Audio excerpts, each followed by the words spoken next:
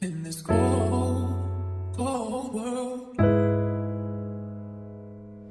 yonke into emhlabeni ibhizinisi mm. so njengamanje uma ukuthi umzali unesifiso sokuyisa ingane university uqalile unyaka njengamanje ingane ziyathathwa ema universities iyise esikoleni at least iyokwenza Grootman into ezothi noma isihlele ekhaya ikwazi ukuyisebenzisa because kuyahlupa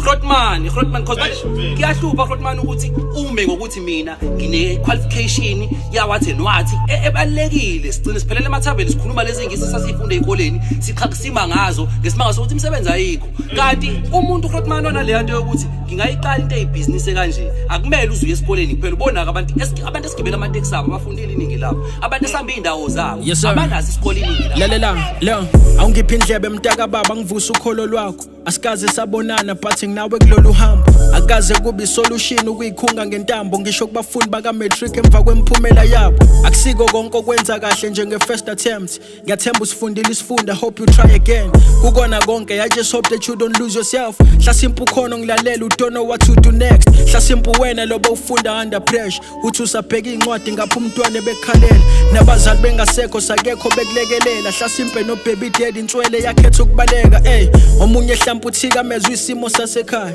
sonke siya ngiyazi akucabangeki nje mawusha wendlala ngisho incwadi ayibhekeke mawuphuma ekhaya ungadlanga bazongi-understanda bazokushizila kwasemakhaya mayikhona indlela phinde esigele uyoqala kabusha uzimisele wazi usebenzele yakhe ifuture uzama ukugwema zonke izinto esezike zakhuba i believe kuloko kulandelayo ephepheni uzophuma namanje ngisasho mina ngumrepa wesizwe sonke umyalezo ukuthi uNkulunkulu usithanda sonke abantu abangilalele kodwa bangake bangikhonze makhona ongangizwanga lamagama niwakhothe yes sir thina into esicindezelayo imfundo kwesinye isikhathi i-right imfundo but iyasilimaza akulona ukuthi ngiyofesa ka-checkers eFrotman ngine-qualification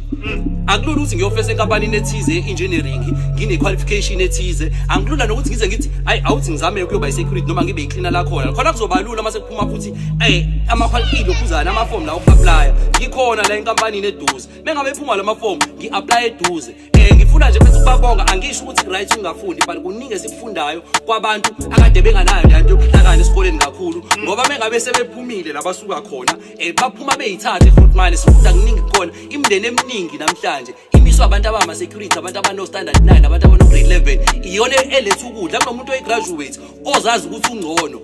odla ukudla okuletha umuntu onganayo imfundo ethe eh yaba phezulu membuka yena umbuke ngazuthi ngingcono kunawe ye ngaleso sikhathi awunalutho uyacabanga ukuthi khona umuntu onokuthi mina ke ngishayele o-uber ngine-degree ethize ayikho imali ebhedayo leyo nto engingayisho futhi mali yonke into ekhona emhlabeni ibhizinisi lomuntu othize so zifundiso zakithi iminyaka ihambile khona sebephele lowo 5 years sihlele emakhaya silothi team ngokuthi khona okuzoqhamuka uma ngekho okuqhamukayo vuka ithatha